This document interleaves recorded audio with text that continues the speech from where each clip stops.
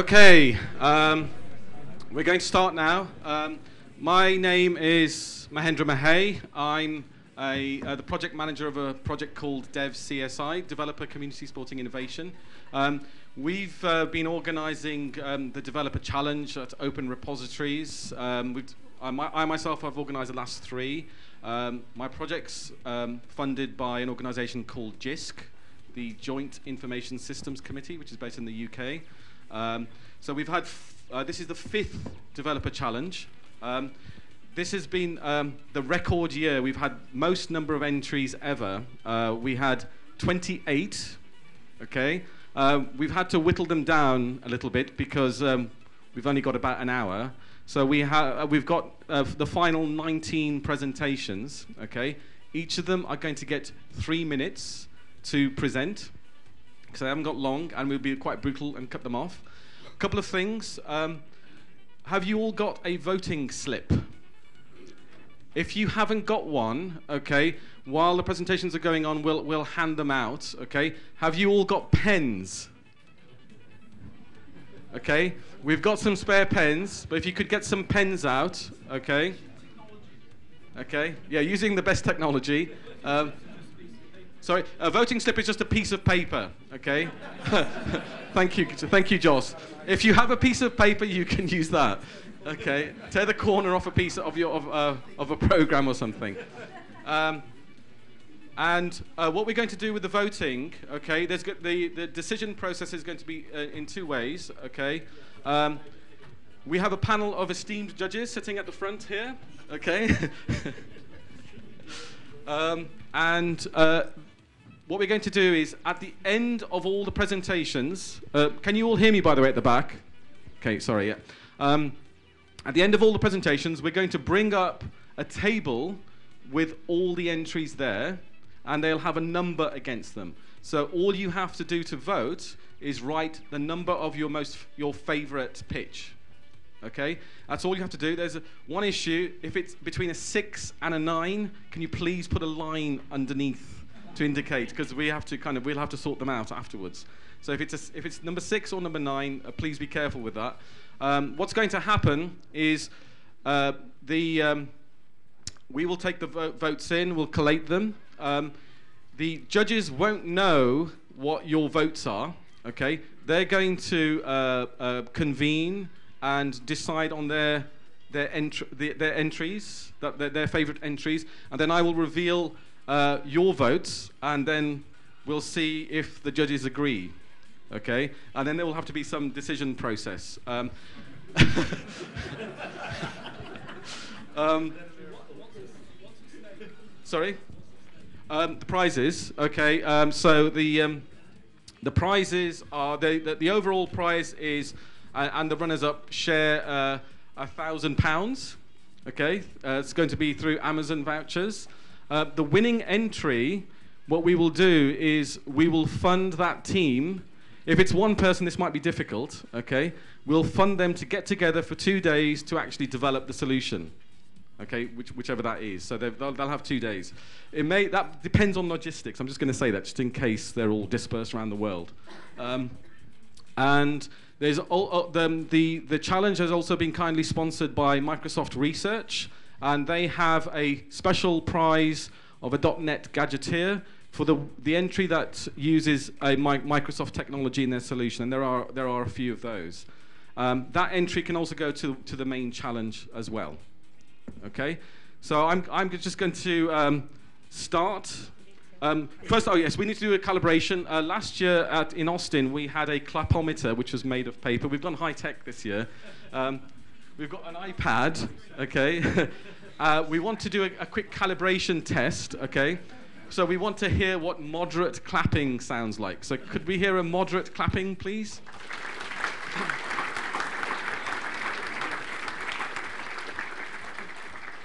Okay, and now a crazy enthusiastic clapping, please.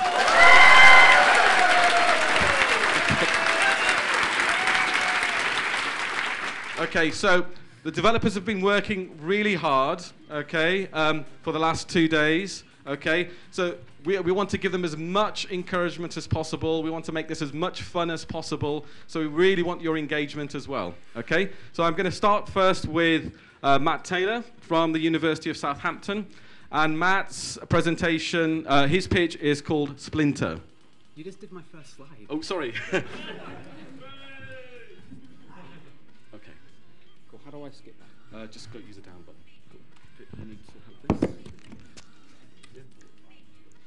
The the bottom one. Ah, okay. Yeah. Yeah. Okay. Yeah. Okay. Hello? Ah, cool. Oh, we won't get the audio. We need to have this. Sorry. Both? Yeah. Have both. Can you hold this? Yeah. Oh, what? Hello? Okay. We've that- got a we've got a, a phone thing. No, I was joking with the face. All right. Okay. Am I down, please? Okay, hi everyone. As Mahendra mentioned, my name is Matt Taylor. I'm University of Southampton. I'm going to be proposing my idea for the Dev Challenge, which I call Splinter. I have a funky tagline, Renegade Repositories on Demand, but I probably won't refer to that again. Right. Oh. Okay, so what is Splinter? Splinter is basically a system which allows you to make a temporary offshoot from your main repository these kind of uh, splinter cell repositories act on behalf of your main repository but are basically functionally independent. These can later be deleted if they're rubbish or reabsorbed into the main uh, repository at a later date. This makes them ideal for events such as conferences or workshops where you have a high number of either new, inexperienced, or untrusted uh, contributors, but you still want them to develop and contribute to your repository in some way. Now, the main appeal for this one is it reduces the overhead on behalf of the administrator of the uh, repository, in that they no longer have to worry about any of the above factors or even make accounts for any of the people who are going to be joining their repository. Sorry. Cool. Okay, so how is Splinter how is Splinter implemented? Basically, it's what I call a network of personal micro repositories. So, what is a micro repository? I like to think of it as a lightweight standalone annotation system, which basically is a bit like a repository in many ways in terms of usage, but cut back on all the features that would confuse new users. Importantly, it's independent to the main repository.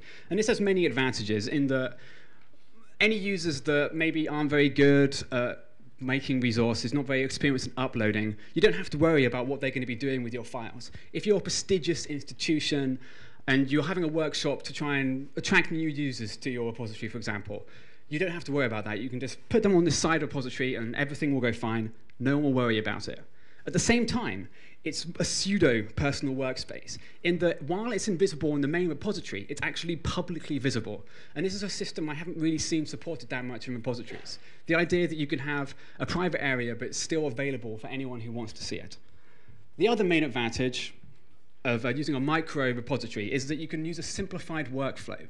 This will stop people from being afraid if they've not used repository software before, but also allow you to make savings in terms of metadata. For example, if you make uh, sorry, if you make a, a Splinter repository for a purpose such as an event, you can use contextual information from the event to fill in fields automatically, such as you know the conference date, for example, or even where it is, what it was, and that will let you simplify the workflow a bit more for them. It also, you kidding? Wow, I overestimated the amount of time I had. Okay, I'm just gonna go with camera. You already do it. I. Wow. Okay, the required technologies for this system already exist. We developed a micro repository at Southampton called Redfeather. You can visit the URL. I've made a proof of concept of spawning these. Well, Patrick did. It'll be available for viewing in the Bazaar workshop tomorrow. And reabsorption of the repositories, if they're good, is trivial using Sword.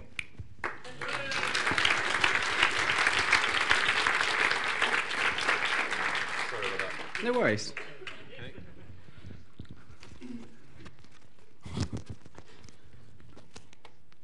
Wow.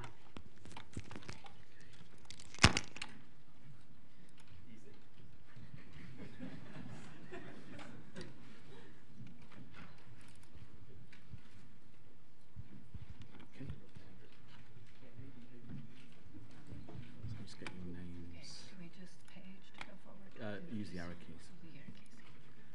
Okay, so uh, now I'd like to introduce Keith Gilbertson and Linda Newman. And uh, their idea is called MATS, and they'll explain what that is. Let me just switch off my music. Okay. Um, it's there. Okay, thank you. Um, there you go. So, yeah, yeah. Just give a second. Okay, if you could put the. Um, who's going to be speaking? Both of us? Okay. So one of you needs to work the time mic. Okay. We need to hurry up. Okay. If you start.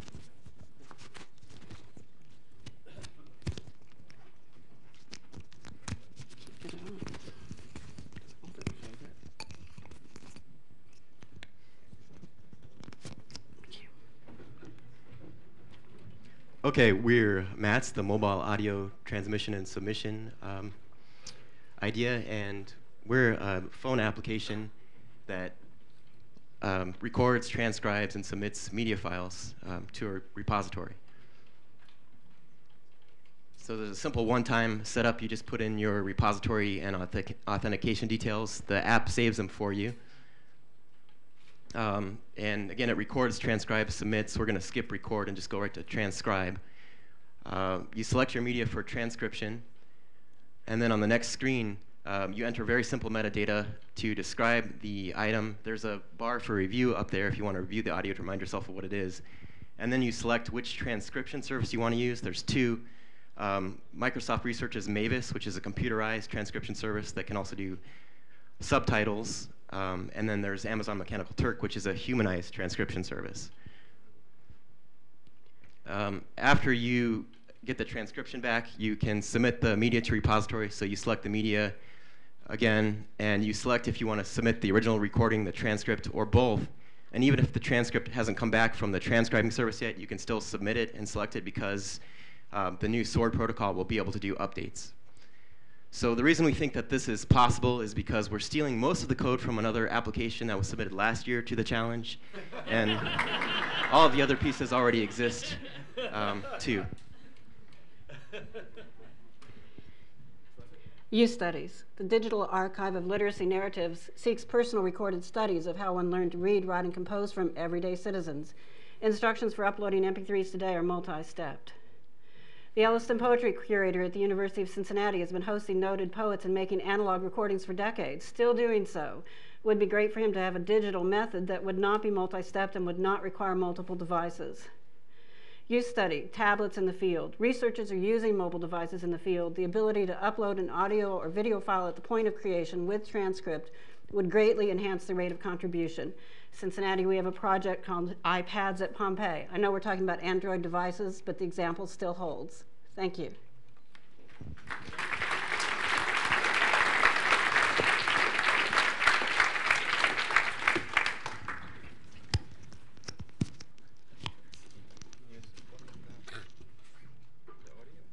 Yeah, should be able to go in.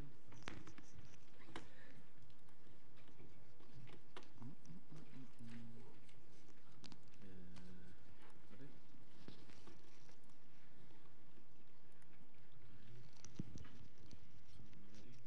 This is fine. Is it okay? Yeah. Yeah. If you could use that as well. Okay, this is difficult. Just give it give us a second. I just realized that using the word mothballs in the title might not be the best idea, but never mind that. It's disappeared. We have some technical problems. We have some technical problems. Ah, there you go. It's my it's my PowerPoint. It's your perfect. It's not a PDF. But I'm using multimedia.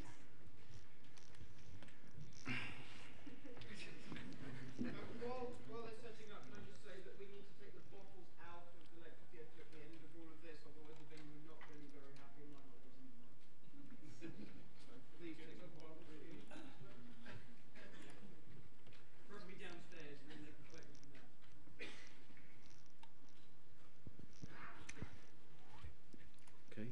Okay. Uh, wait a minute.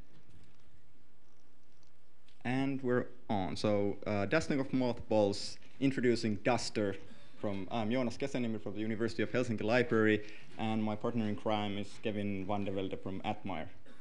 And uh, uh, the idea is to, dust, uh, to link bits, bits and pieces of data uh, across time series, so and making them available uh, through the uh, I don't know. Next. okay, so but but mo- motivation is there's something missing. That's the actual quote that was. that's one of the probably the absolute one of the only absolute truth truths in the world that uh, only thing that is is con- is uh, constant is change from this stony guy over here. And here's uh, uh, the use case that I that I've been thinking about. So if you want to get all the articles uh, published in the Aalto University from the field of computer science, Aalto University is quite a new university. It has existed about I don't know, a couple of years. So uh, if you if you don't know that it used to uh, there used to be three universities that merged together to form the Aalto University. Uh, it would help if you have some kind of model that describes that. So this is the simple model that uh, can be used to describe uh, temporal changes, and in this case, temporal changes in the, na- in the name of the in the name in the universities. And uh, what the duster does, it takes uh, data from the data source modeled, for example, for example, for example, using this kind of uh, temporal uh, concepts.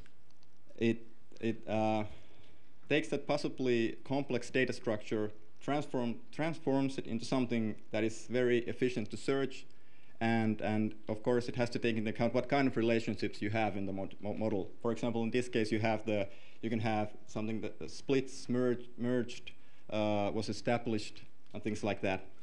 And uh, it creates very simple Solr documents and uh, then makes it available through API. And here's an example that, uh, that uh, Kevin made.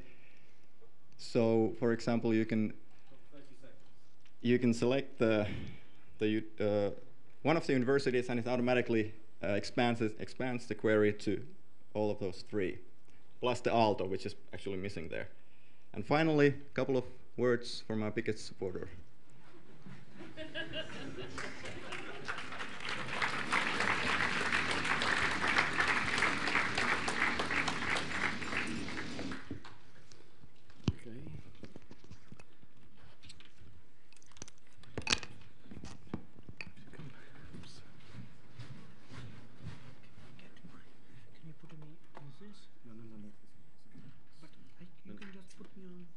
it'll be quicker here. So, uh, which one was it? I, I It- need a web page. You need a web page. Uh, right, okay. And it's that one. Yeah, Let's me see, is it working? Okay, it's working. that's what you need, yeah? Introduce yourself first. Yeah.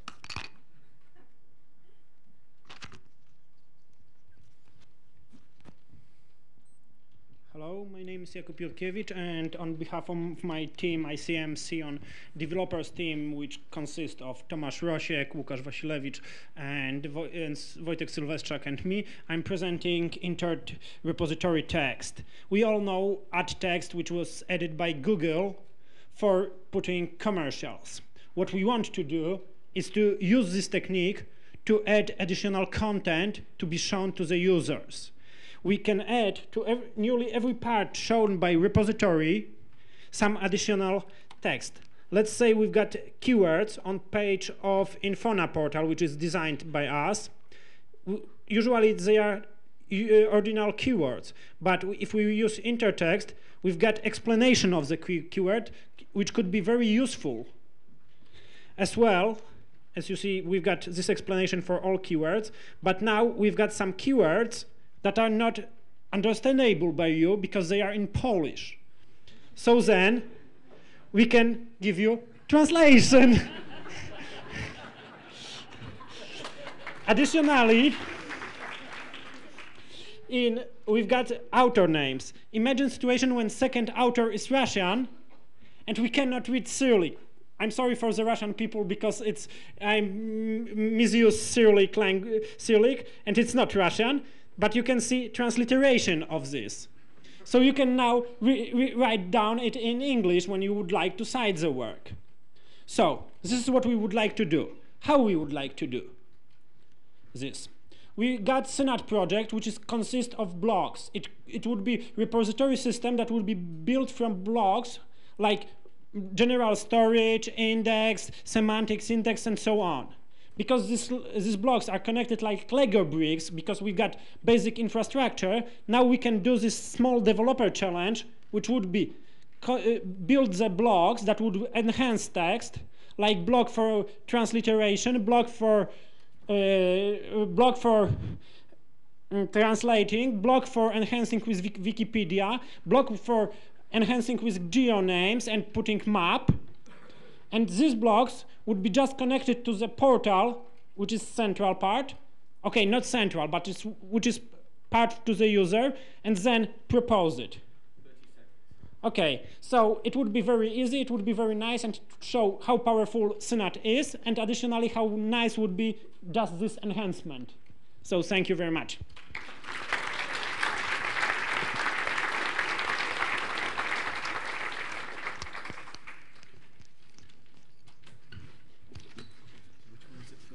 Um, it's the um, subversion thingy.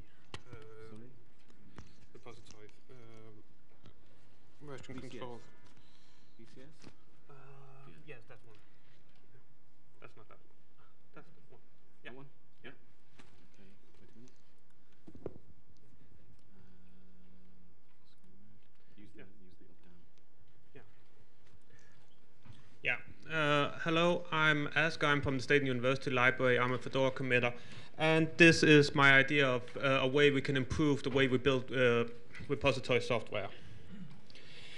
Basically, uh, most of the repositories we build would like uh, to have a versioning system. And most of the repositories uh, we build, uh, we have built their own versioning system. This seems somewhat redundant given that um, much work uh, been going into building uh, uniformly accepted versioning systems that we uh, ourselves use for actually developing our code. So why not actually leverage that power? Um, and um, that is my proposal. Um, to um, use, uh, in this case, Subversion um, as a backend, and in this case for Fedora. Why would we do this? As you can see on the slide, um, there are um, several advantages. We will be able to actually check out objects, do some changes to them, and then commit them again. We will even be able to do this uh, with a number of objects. Fedora, as you might know, does not really support the checkout, uh, change, and recommit uh, operation, which kind of is a, a bar in certain workflows. Um, and um, yeah, so um, but it brings other advantages with it as well. Um, mass processing in repositories is often a problem uh, because um, repositories tend to live as a web app. Uh, accessing a web app in mass processing is not possible. Uh, it's death. Um, so um, what we could do if the repository was really a version control system, we could check out the content into a Hadoop cluster. Um, perform whatever operation we need. If those operations change the objects, we could then recommit the objects as one change set. And um, again, you can see the slides, of course. Um, um, if we actually use a standardized backend, um, we would uh, have um, standardized tools, uh, some of which are quite nifty. Gource is a mm, visualization tool um, that was actually being shown yesterday, so I can't tell you much about it. But and um, uh, the final point, we would be able to uh, browse the repository as it looked at a specific date by checking it out at a specific re revision. Something that uh, if it's even possible with the uh, current systems today, is not too easy. Yeah. And um, yes, I have um, developed a, a proof of concept thing that I'm going to put up on GitHub in a few days when I remove the most embarrassing bits of the, uh, code from it, um, just to show that you can actually um, do this. You can have a Fedora-like interface. Um, not a total of correct Fedora interface, but a Fedora-like interface on top of a Subversion repository. Um, yeah, that's it.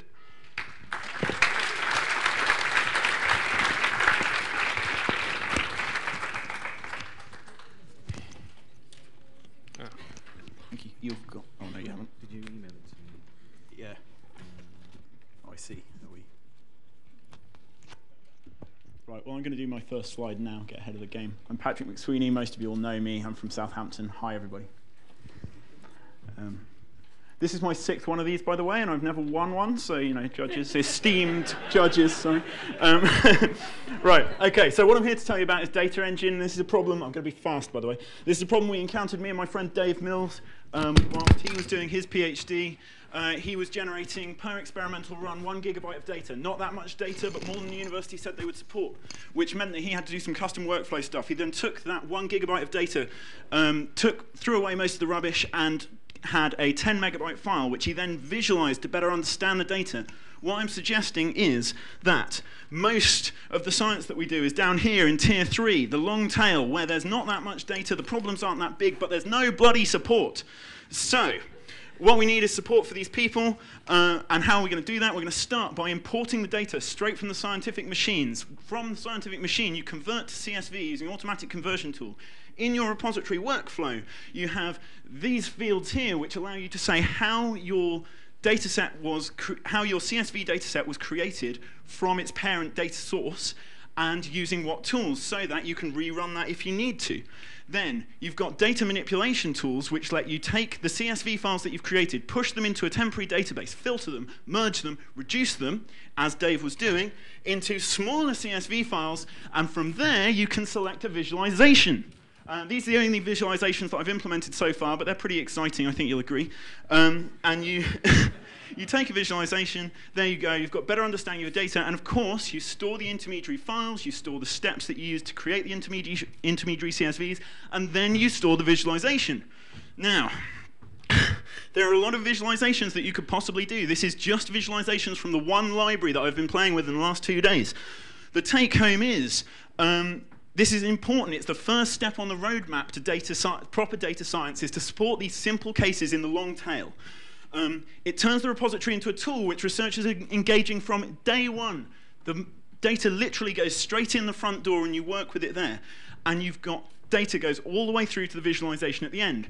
This means that you've got a certain amount of replayability. You can take the same source data, rerun all the scripts on it all the way through, and come out with the same visualization. But more interesting than that, you can take data that looks similar, maybe you got from a similar experiment, for example, and you can run exactly identical workflow on it all the way through to the visualization at the end. And when you get to that visualization, you're comparing apples and apples because you ran exactly the same filtering steps, literally exactly the same, all the way down. And now you look at your visualization and you're comparing like with like. and seconds. that is really hyper powerful. So the outlook's good. I've got quite a lot done in two days. I also did half a Matt's developer challenge for him, so that was good.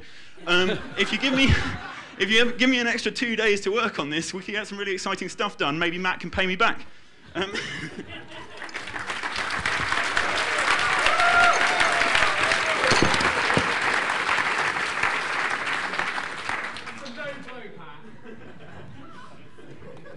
Uh, you want to try that? Okay.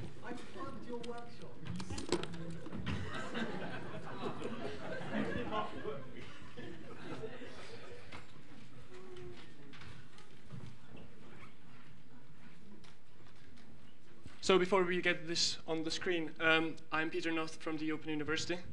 Um, it's an it's an iPad. It's not, not going to work. It's not gonna work? Even better. You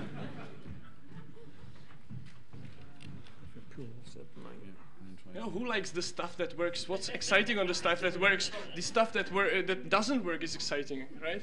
So- That's true. It doesn't now. Right?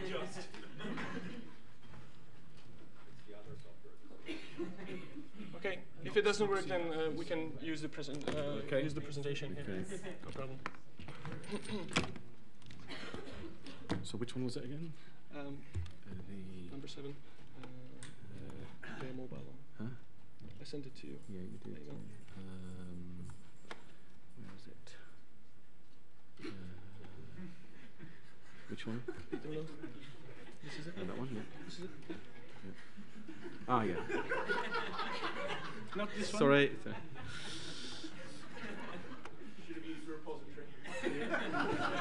yeah, if you want my mission, I can free Is that it? That's it. That's it. Yep. Brilliant. Okay, that's great. So.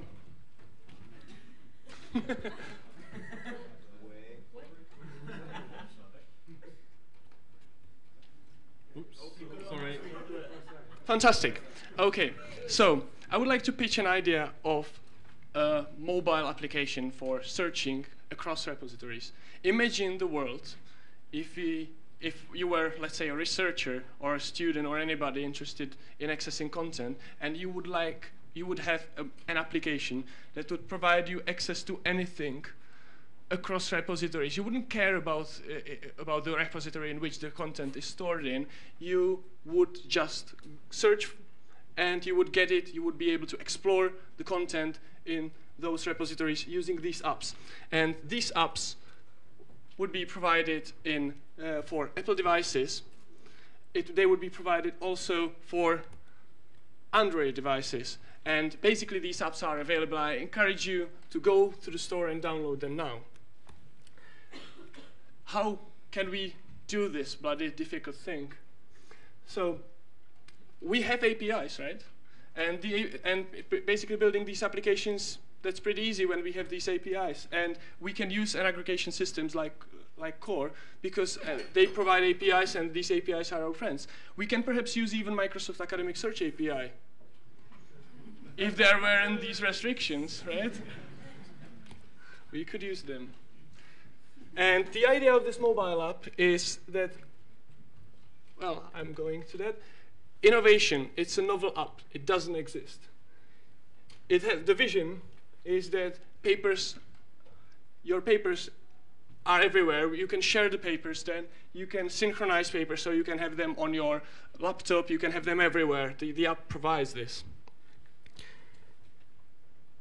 It's, this is an abbreviation which I invented. It says, what you find is what you download.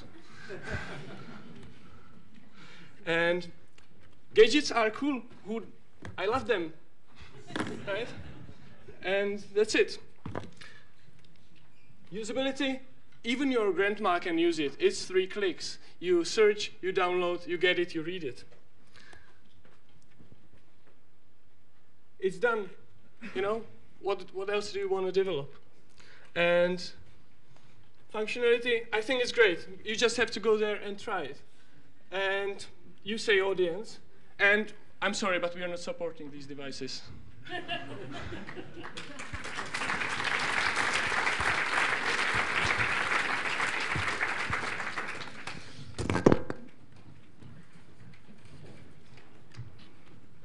You're using your own, yeah? Have you got the adapter? No, no, I need you.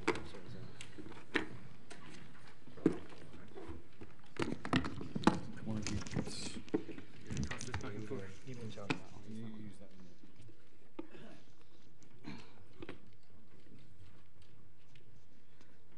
Do you need to use this one as well? Yeah, you might need to.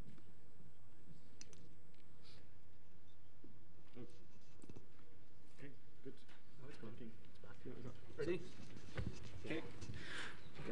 Okay. Okay, uh, hello. Uh, we are uh, Richard and Mark from Cottage Labs, and um, we're here today to try to present something to you called Sordid. So, um, I'm also a, a, PhD student here at Edinburgh, and uh, from the perspective of being a PhD student, I don't actually know anything about repositories. I might do from Cottage Labs, right? But that's irrelevant. So, I'm here, I'm doing some research, and hey, I don't know anything about where my paper goes, why I should put it in the local repository, what the local repository is, even does it exist. I just don't know. I don't care. Maybe I should, but there you go. So, um, what can we do to change this, right? How can we get researchers like me in future closer to the repository? How are we going to make it so that I want to bother putting something in this thing that I don't even know about right now? Uh, how are we going to do that? How are we going to bring the information from the repository back to somewhere I do care about? So, on with Richard. Okay, so the answer to this question is a combination of something we've written this week called Sordit and another piece of software that we've been working on before called Facet View. So I'm going to tell you very quickly about Sordit, which is the code we wrote this week. Um, basically, it's a jQuery plugin uh, that's designed to be just dropped onto a web page and immediately give it sword deposit functionality, right? So you can drop this thing straight onto a department web page or a researcher's web page. So Mark's web page can immediately be annotated with sword deposit functionality.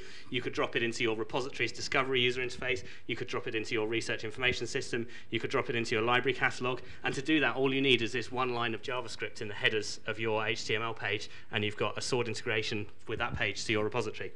Okay, but it doesn't stop there, right? You can do more cool stuff. If you turn this into a Grease Monkey plugin, which we haven't yet done, you could attach these deposit buttons to any web page. So you could be browsing on Web of Science, you could enable your Sort It deposit button, and you'd be able to deposit your publications with the metadata from the Web of Science straight into your repository. You could do the same thing with Google search results if you wanted to.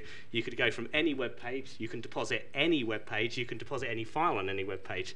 And uh, here's some examples of how it might look. Look, here's the Web of Science, but uh, a Web of Knowledge, and I've logged in, and I've enabled my Sort It plugin, and, uh, and there's the button to let me deposit it into the repository. And there's the Google search results, exactly the same deal. I can just drop it straight into my repository. So let us give you a quick example of it actually working. All right, so um, I'll, I'll explain a bit, uh, a little bit about why this example might might uh, exist, right? Because um, we've got this on a web page here, running from the one piece of JavaScript that Richard showed you. Unfortunately, we can't show it on an informatics web page because, on typical researcher style, I forgot my uh, login to the SSH server. so it, it's on our own web page at the moment. But Richard will explain to you here how we can do this.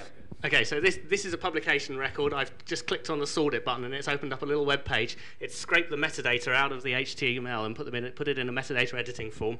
I've just added a file from my local desktop. And now I'm going to hit upload, right? And now immediately I can go and visit that fi- file, which is in my repository already with the metadata and the file I just uploaded. And the reason that I might want to bother doing this is because in the same JavaScript line, I can now embed on my own web page information about the, say, the articles I've published, the things my research group have published, and then show them off. That's it.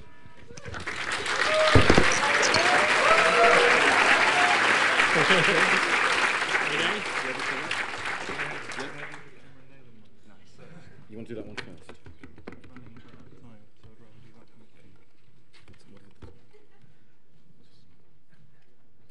Uh, is it going to be a browser? Yes. It's already loaded.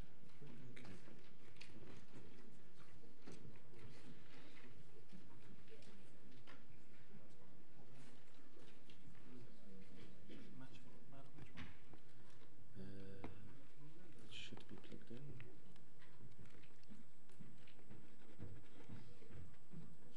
You just-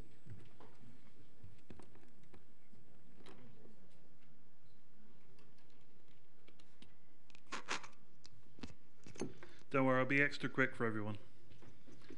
If it ever appears. Uh, Yep.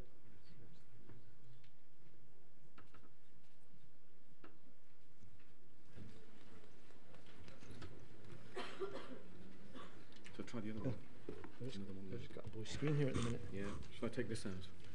Yeah. I think the laptop may have died. Wait a minute. To get this. Oh God, what the hell's happened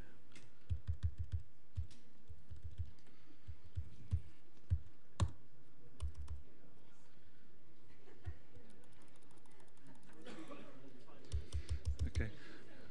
Well, Cameron came up to me yesterday, and or the day before, I forget. It's been a long couple of days, and he proposed this. There are lots of people putting in papers into larger, well-known repositories, PubMed, etc., but they're also putting into publishers, and they're all getting DOIs. But how how can you actually know who can see your paper? There are the libraries, they buy bundles of subscriptions. They don't buy individual journals, not unless they're really pressed. They get the, the bundles from the suppliers. And so, how can you tell which libraries have access to your papers? So, I spent the last day building a survey tool, which you might be able to see, but it's a, it is now running at isthisresearchreadable.org, and it's live, you can go and do it. Um, the Crossref people have a service which is broken at the moment, but it can give you random DOIs. So what I'm proposing is out of the 39 million DOIs, we take a relevant sample of 66,000 records, DOIs, and look them up. That will give us a 99% uh, uh, confidence level that our sample, sample will match the overall spread, and from that we can tell how many people can actually see this because we'll ask people to come along. Can you see the abstract? Can you get the PDF? If you can't get the PDF, how much does that paywall cost? And if you can find it elsewhere in an open repository, for them to add the link in so that we can find it automatically. So those with, you, those with your browsers open, is this researchreadable.org, and it's there and live. I just need the actual DOIs from Crossref, and their service is broken. So we might have the machine running by the time I finish. To restart. So just to finish with, my name is Ben O'Steen, and this was actually whatever the talk was at the end. So I'm, I'm dropping one of my talks to save you all time because we're running, run out, running out. Thank you.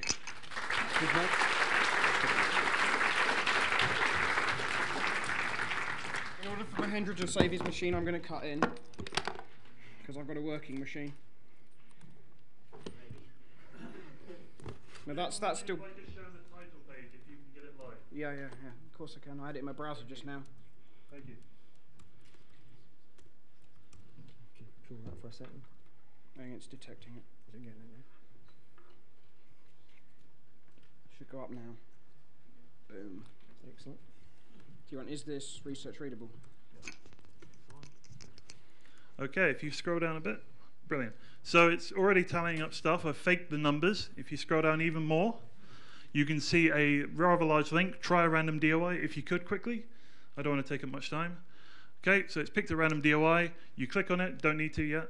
Um, click on it, and you've got to find does this link actually go anywhere? Because there's lots of broken DOIs out there. You've got to find out can you get to the splash page? Can you read the article? Come back to that page, fill in your box. If you go to location and type in Edin B or something like that, uh, because I'm tying into Ian Stuart's ORI list of institutions. So it will do a search on his service. If you just go there and type in something. Right. Yeah, just wait a second. It takes a little while. Um, but this is trying to cut down on the number of institutions that get put in the box because obviously dissemination will be a bit of a problem. Um, and you can just pick from the list. Uh, but yeah, fill in the links, hit submit, and uh, there you go. Cheers, Ben. Thanks. So I'll cut in while Mahendra's still booting. So this is presentation 18 near the end, but since it's a demo, I'll just quickly cut in. Um, how many people have seen me give one of these before? Slightly crazy, slightly mad. Happenings are about to happen, most likely, if I can get it all working. Um, so last year I did depositing into repository using a Kinect. Basically, I didn't touch the laptop. This year, unfortunately, I'm going to touch the laptop. Sorry about that. And I thought I'd go for something less brave. So I thought I'd just go for a time machine. I thought that was much less brave than throwing things into a repository using Kinect. Um, but uh, not quite for everything, for linked data. Okay? Because typically we're publishing linked data on the web in this kind of form, right? Triples. Okay? There's a simple triple. Okay? But we know nothing about this triple, like the who, the what, the where, the when, was this published, that kind of information, because typically those, those things just aren't existing. People aren't publishing this type of information. For people who know about linked data and named graphs, I'm sure you can fill the gaps, okay, because there's a lot in this. But why aren't people publishing this information, even using the available technology uh, and available uh, methods? It's because, you know, slightly lazy, maybe, okay? But again, technology can actually solve half the problem for you, so why doesn't that technology exist? Um, well, it does, and I've basically created this thing called LDS3, Linked Data Simple Storage Specification, which does the hard work for you. It's very sword, it's very CRUD. I believe that's a band, actually, with that CRUD logo. Very Dublin Core, very Amazon, so it's borrowing a load of stuff and kind of mashing it together. Um, but so what I want to actually do is give you a demo of it, and I just need to move that to there.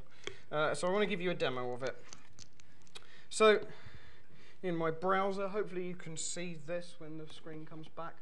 Um, so in this tab, this is a document I've submitted. Uh, it's a bit complex because I haven't really prettified it. I'm sorry about that. But this is a standard uh, RDF triples display library you can get out there called Graphite. Uh, and what I've actually done here is I've, I've submitted a person called Bob and Sue. This document's describing Bob and Sue and this is the document and, and who submitted it. But all of that information is actually provided by the, the, this, this endpoint. So when you submit it, it's all annotated. This document gets annotated by the endpoint. And it adds a, a, significant thing called date submitted, right? So you know when it was submitted and what it's a version of and what it replaces, right? So it's very sorted. It links everything together with provenance information. Now let's get to the cool bit. What can we actually do with this? What pretty interface can we actually put on top of it? Well, if you see this little button over here, you can go view doc history. Who's got an Apple computer? I can see plenty of them in the room, so you might have seen this interface before. It's a time machine for linked data, so you can just browse through it. So you can see the history of this object through time. And cooler than that, so what you can do is if you click on one of these, it brings it up in the interface and you'll be able to restore it and do cool things with documents so we can browse things through time. Okay, so yeah, a bit techy, but quite cool. But what else does this mean? What else does this mean? Well, come on, projector. It means what we want to get to is the semantic web. It's the final frontier. Okay, so we want to do this, this kind of query. How many countries? give me, give me one, one slide. Give me how, many countries have a capital city with airport with population over two million? That's a hard query to answer in linked data. Even harder if you want to do that on the 23rd of July 2006. But we can do this with this because we can rebuild the data as it looked. We can do it using Memento. So that's what I'm proposing. Time travel for linked data, not just time travel for static web resources, dynamic web resources. It's the final frontier. Okay.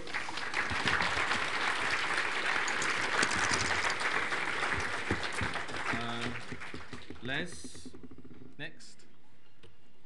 Les.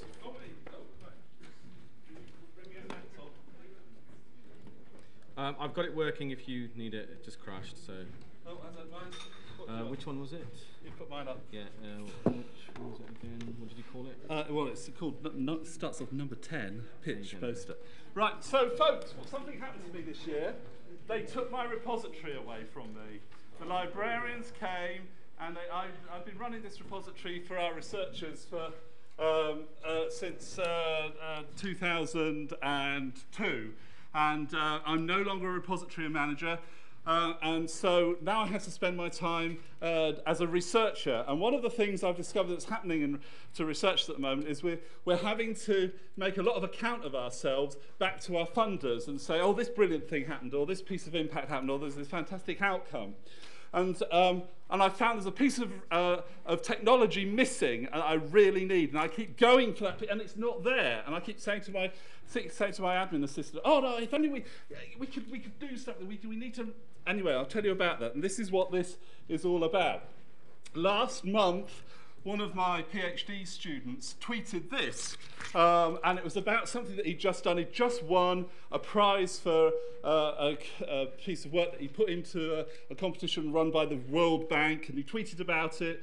And the tweet had a link to the homepage of the World Bank, which had a picture of him up there, looking all proud uh, winning this international competition. Uh, and uh, there was the competition page from the World Bank. Uh, and so we released a press release about it and we told the EPSRC and they went, oh, fantastic. And they released a press release about it. So there was lots of dissemination going on, some of which had been planned in advance in case he won.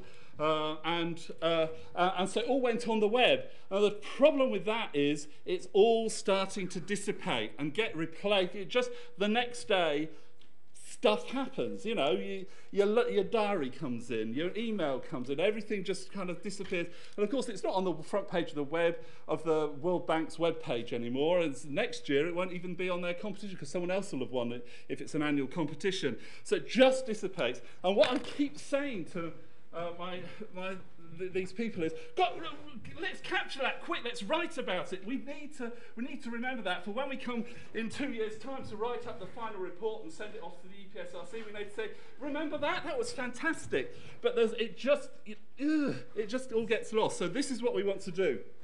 Uh, we want to capture the imagination, the inspiration while it happens. Now, there are bits of software that do bits of this, and I just want to put some of them together.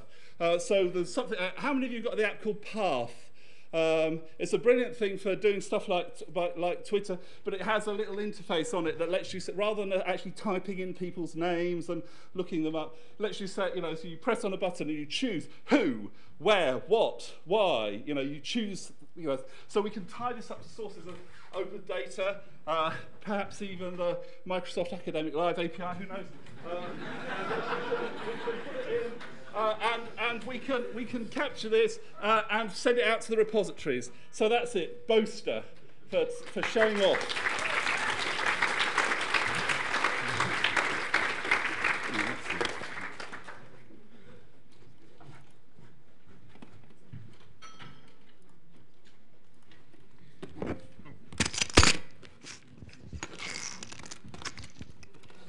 Yes, uh, hello, I'm Asger uh, still, and I'm still Danish, and I'm still here, so um, welcome back.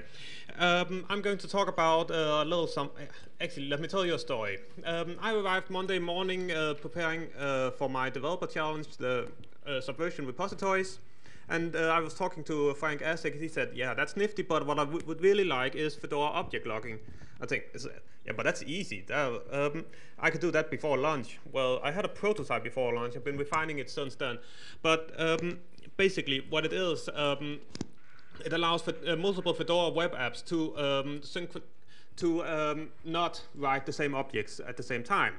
Um, and this is one of, uh, and this is an important step uh, towards actually having multiple Fedora web apps accessing the same object store. Um, and it uh, is in a working prototype now that people can play with. It's on GitHub. Uh, read the address, or I'm blekinge on GitHub. Find me. Um, uh, but why would we uh, want this?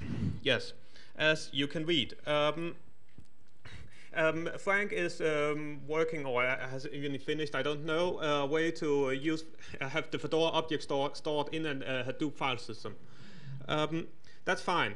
Um, um, but um, it's still kind of a bottleneck. If you have one web app, you might have a lot of data nodes, but you have one web app. Everything has to go through that if you want to go through the Fedora interface. So why not have multiple Fedora uh, heads, as I call them? Um, and actually, yeah, we can go further, uh, but I won't because that's uh, out of time. But um, what I've been doing is uh, I'm using Hazelcast, a nifty little, uh, little nifty big framework suggested to me by Chris Wilper. Um, I've uh, added two new uh, uh, REST methods for Fedora, lock and unlock. And I added a decorator, which is a Fedora plugin that um, uh, this allows access, uh, uh, writing access to an object while it is locked. Um, so um, to use this, you have to add three lines to one of the mm, config files, and you have to add three lines to one of the other config files, and you have to dump the jar file on the class path and you have Fedora object logging. That's what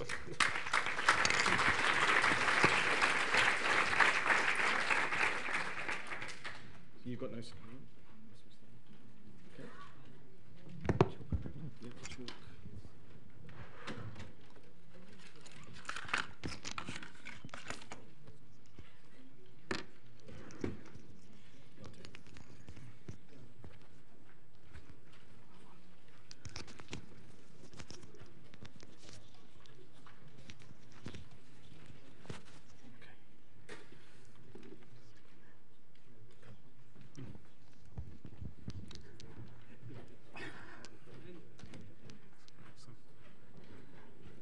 Okay, so I have a proposal which has a name. But first, let's talk about Sword. It's great, but just for deposit. It has limitations. With Sword 2, you can edit the content that you deposit. But to do that, you get edit IRIs returned as you deposit. And they're your receipt to be able to do anything with that content. What happens if you forget that edit IRI? Your system doesn't save it. What if you want to administer content that you've already got in your repository and just change that content? Um, yeah. So Sword could be more widely used if the edit IRIs were discoverable. So a proposal. I want an atom feed. Now, I wanted to support authentication. At a basic level, this can be used as a better replacement for OAI PMH because we can do things like hiding dark items and just retrieving them when you've passed the authentication. But I want more. I want it to return the non-complete, the non-archived items as well. Things that you may have deposited in the past with Sword, as long as you've got rights to edit them. Most importantly, I want it to return the edit IRIs. so that I can actually do work with those items. So I said I had a name. Well, I'm going to summarize. What I want is a simple harvest interface for edit, link, discovery.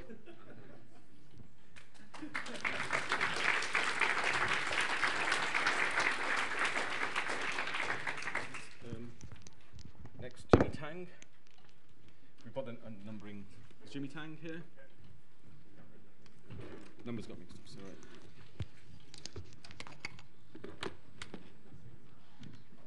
Did you email it to me? I did, yeah. Did you call it? Is it here?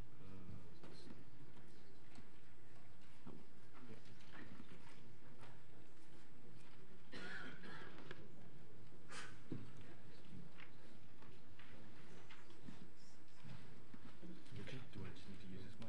Uh, yeah, just do it. Uh, just hold it. Uh, it would be easy to do that. Just hold it. Put it in your pocket. Just use that. Okay. Hello, everyone. My Jimmy Tang. I'm based in Dublin from Ireland. And, oh.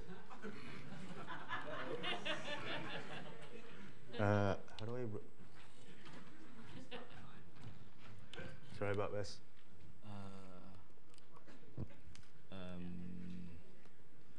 Just rotate. Top, top. I didn't expect this. So, uh, what I wanted to talk about today was, uh, with my pitch that I wanted to put forward, was uh, to talk about redundancy at the file and network level to uh, protect data. One of the main problems that, um, if I go next. So the, the problem is uh, that I'm trying to tackle is Acrobat and people with uh, multi-terabyte archives uh, in the order of tens to the hundreds of terabytes.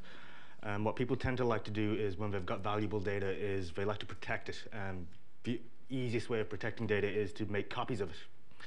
And every time when you make a copy of it, you pay for that copy of that data. So I'm cheap. I like to make the most of whatever I buy. So I don't think that uh, replicating data is a very good is a very good idea, and it's very wasteful. So you have to pay for maintaining an additional machines. You have to pay for additional power, additional networking, and possibly even uh, additional people to maintain your uh, your infrastructure.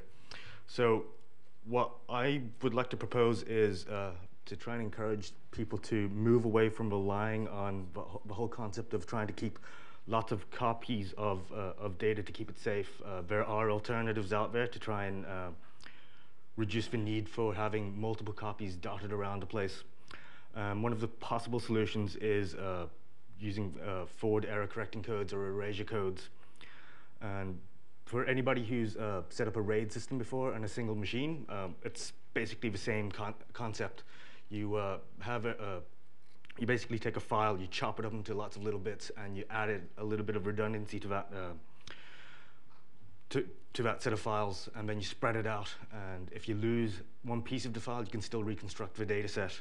And the idea is that uh, it's, it's to move that type of uh, feature and functionality from the from the hardware into the in, in, in- into the, the software world to, to try and reduce cost of total ownership of actually owning expensive hardware and owning expensive multiple copies of that hardware to do uh, to keep your copy to keep uh, multiple copies of your of, of your data. Okay, um, so that's basically what I'm trying to push, and I had a look at uh, possible ways of actually doing this, and there are some open source libraries out there to do erasure coding uh, in software, so it's possible to apply some of these ideas, and most of them are just mashups. Thanks.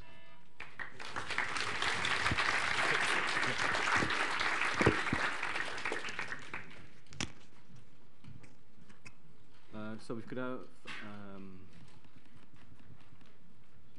uh, Hossein.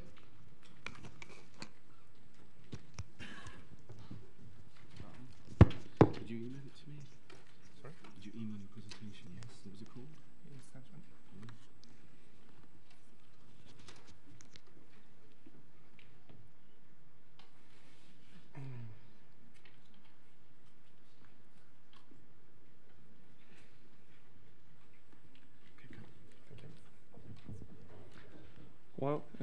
Good afternoon, all.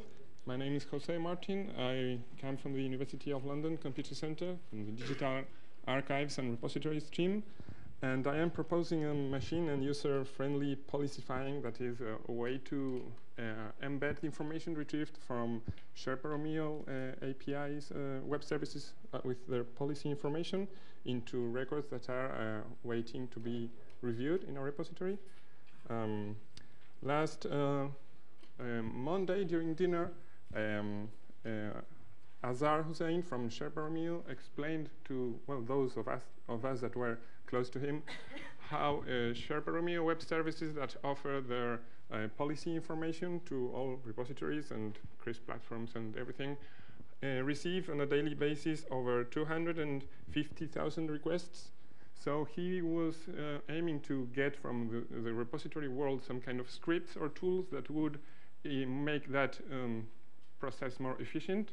So he was thinking of some kind of um, uh, script that could be run on a daily or nightly basis and do that same thing in a more efficient way. Uh, besides, this um, task is usually accomplished by repository uh, managers manually in a quite an, you know, an adventurous way. So why not let's better put machines at work instead. So we have here a sample repository and EPrints one with um, 10 submitted items pending to be reviewed. We have downloaded the uh, XML information from the Sherpa Romeo web services. Uh, we have, among some other data, we have the, uh, according to the ISSN, uh, the Romeo color code, which, gi which gives a hint about the policy uh, profile. So we run our script. It would go through the 10 items we had pending uh, to be reviewed and try and uh, find a match using the ISSN and uh, retrieve the proper uh, Romeo color code. So that would let us change this into this. So um, probably a you know, repository administrator would be uh, glad to start his working day in a more colorful way and have all this already done for him or her. And so we have added a Romeo color uh, field for every record, and we display them accordingly. So the idea is that um, uh, that uh, updated uh, policy information will be retrieved in just a single request, a longer one, but just one, and just before running the script, and that would uh, make machines more efficient, and so that's the machine-friendly part, and uh, repository administrators and Romeo staff uh, Uh, happier. That's the friendly type. And we also retrieve the journal title. So, well, thank you.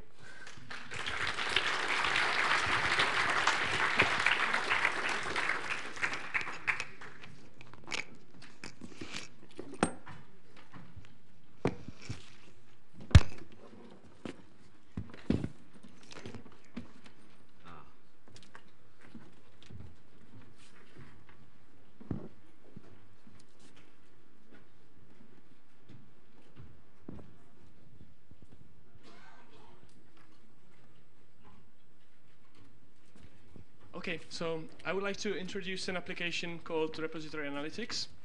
Um, now, uh, it's an application that will make lives of repository managers very easy. Um, repository managers need to know if their metadata and content are, is being harvested and if everything is correct with their, with their system. Uh, the problem is that they can't really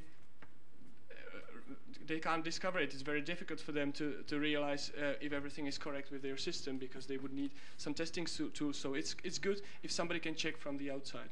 Repository Analytics is a tool which lists open access repositories, the content uh, of which uh, some aggregation tool is harvesting.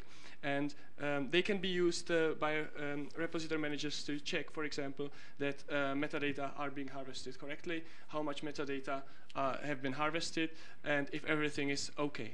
If um, it also provides uh, I know that there have been similar tools in a sense, but um, this tool is different because it uh, provides also access to, it also provides statistics on the content, not only on the metadata. So it also provides information about harvesting of the full text PDF files, which is extremely important.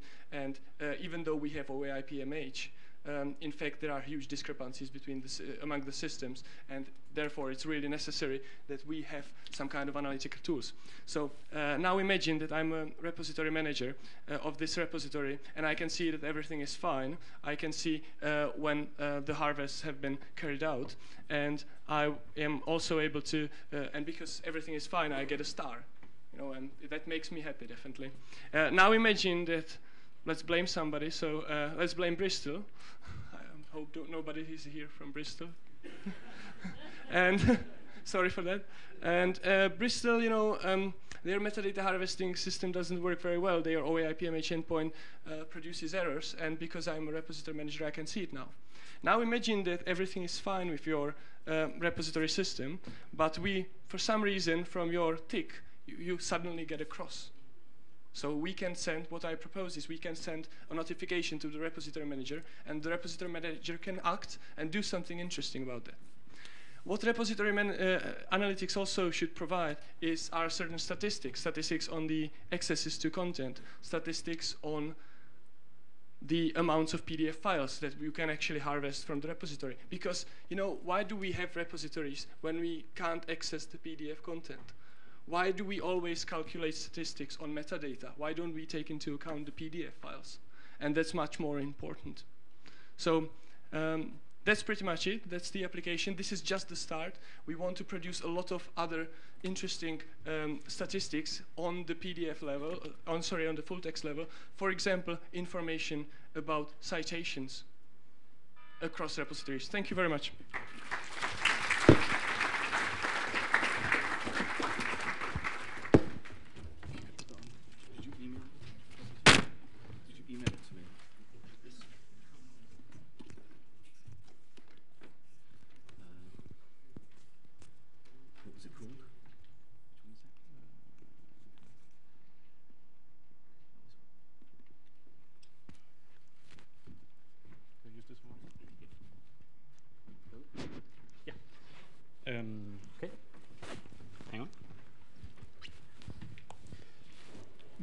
Like to propose an idea that would hopefully move institutions one step closer to the goal of this perfect uh, current research information system that has all your metadata and it's very complete, it's very nice and it's structured and it's all there. Um, but the fact today is that researchers don't really care about the metadata about the publication. They care about the publication, they care about the publication list, but they don't really want to burden themselves with entering the metadata about their publication. Librarians care about metadata. We as developers care about metadata. Institutions care about metadata because they can use that to assess research. In many cases, the metadata about the publications are available to us in our uh, library catalog or discovery uh, interface. So if we're a bit clever and we query our discovery interface for new publications from our own institution, we can hopefully extract this metadata, inject it into our uh, research, research information system, um, have librarians who love metadata annotate, complete, perfect, uh, correct this metadata along the way, and we will obtain this excellent research information system um, question, can we do this? Can we implement this? Uh, fact, uh, we have done it uh, between our own uh, discovery interface and our own CRIS. Um, we have done it again since we changed the CRIS. We'll do it again in short time because we're changing this, this, the discovery interface. Um, what we would like was to extract all this work we've done. And why we're we doing it again and again and again? Mainly because the CRIS and to some extent the discovery interface is not open, does not lend itself to extracting and injecting and creating new records based on external metadata. So in some sense, we're calling for help from CRIS developers, from discovery interface developers to, to open uh, the interfaces, open the metadata, uh, and by doing this, they can help us extract a, a generic solution that will enable movement of metadata from discovery to the CRIS. That's it. Thank you.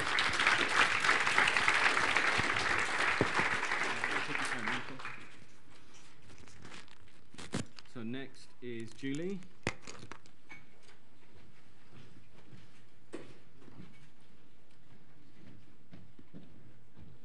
I, I didn't put the, I lost all my URLs, so you're gonna have to put the URLs. That's in. for us.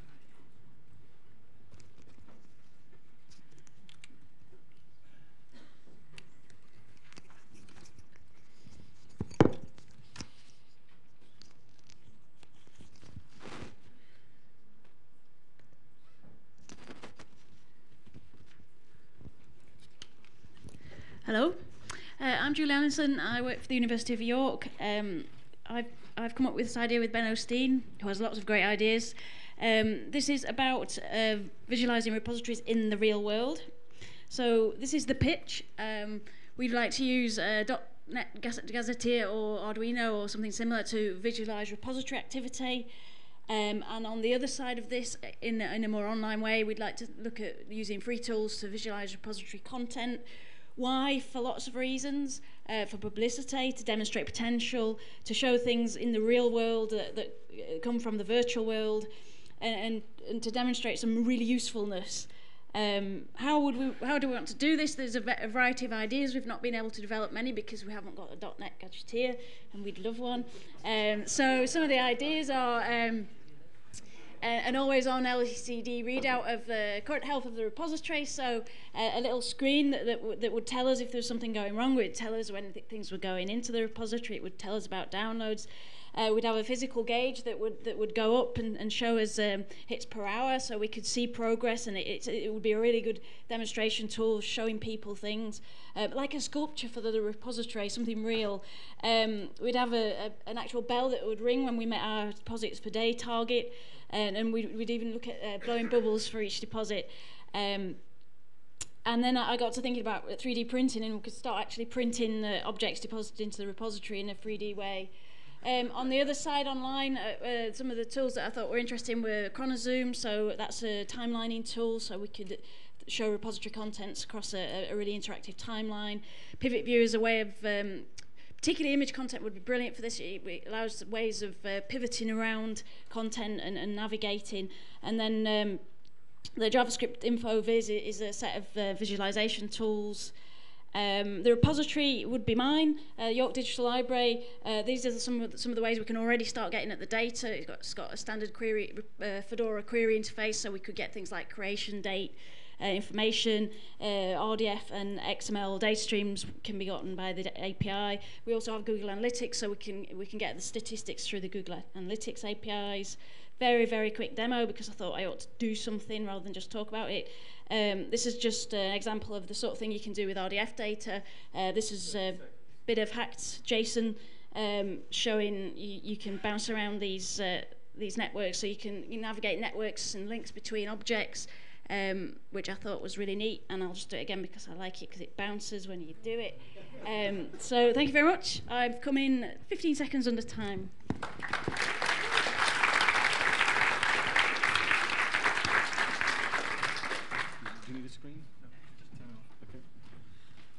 Right, we all want to go out of here, so I'll be quick. We have lots of repositories which have got one repository manager, no developers. They have some support, but they don't really have any. So we're going to RAM read them. We're going to have a VM set up with either a Fedora backend or a data bank with lots of microservices. We're going to get all the lovely content, pull it in there, and run text analysis, text mining, image analysis, face detection, uh, lookups on RDF link, and enhance it. And if the repository manager can then go to our boss and go, here, I've got this data. Why can't we do this? We just need a bit of extra money. And we can sell that as a PR tool. And so we'll spend maybe 20 quid to spin up a VM for a month as a demo for this, but you'll be able to get all the tools and do it quickly. But we're going to RAM raid, but with permission. Thank you.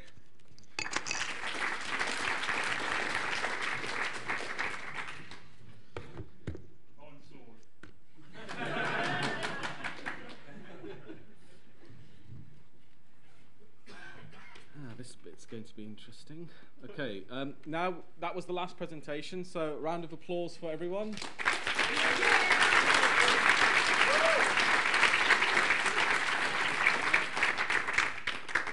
do you want to just give a quick feedback on the applause meter?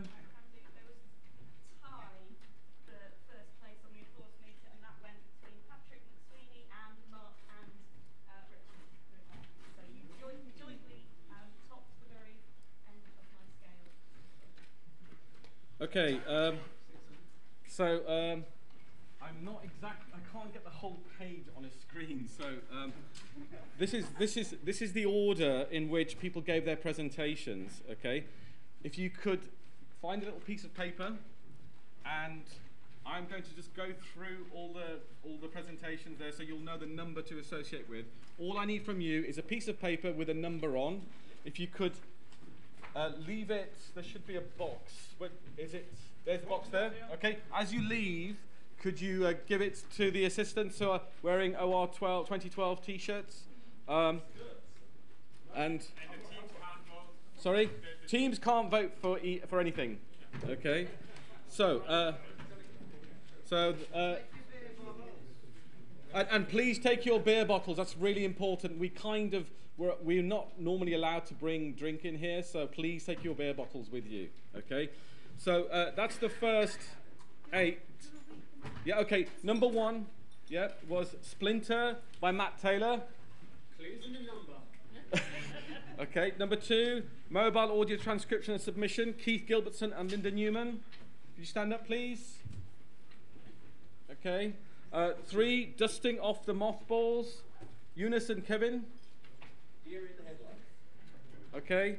Inter repository text. To, uh, Jakub. It's inter intertext.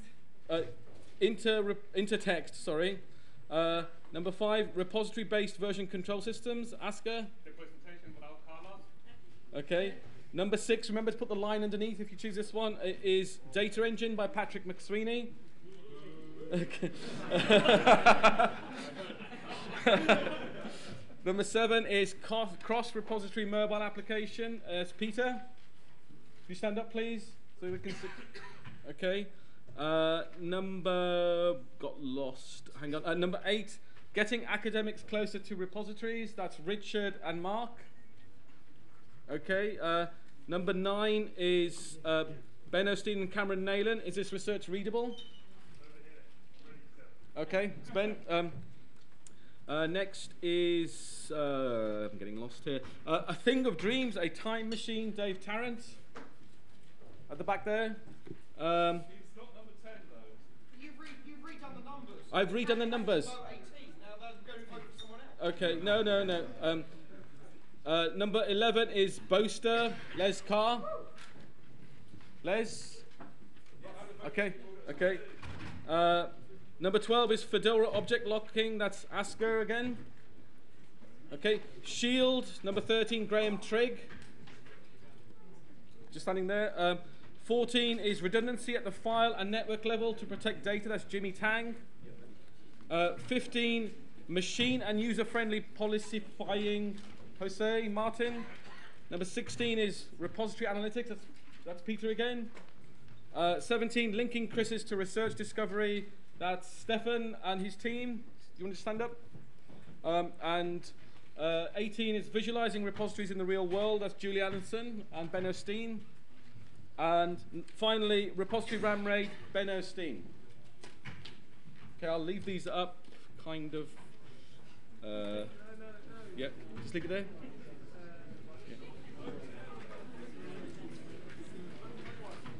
How can I get? The preview or something. Yeah, I tried that, but it was too small.